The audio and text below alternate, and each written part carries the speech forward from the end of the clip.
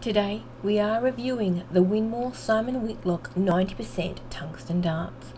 The Simon Whitlock darts are available in 22, 24 and 26 gram weights, all of which are available from Deadeye Darts.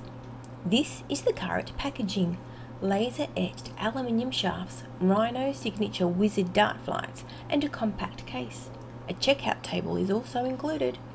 Conjured by the wizard himself, these 90% tungsten darts are replicas of his unique barrel design.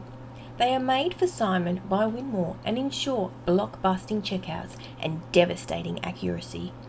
They feel perfectly balanced and weighted in your hand right from the moment you start using them. Winmau darts are manufactured to plus or minus of 0.2 gram of the nominated weight. All three barrels are weight matched within 0.1 gram of each other, so you can be sure that every throw will be as precise as the last. The barrels of the 22 gram darts are 43.4 millimeters long with a diameter of 7.2. The 24 gram are 45.9 millimeters long with a diameter of also of 7.2 millimeters.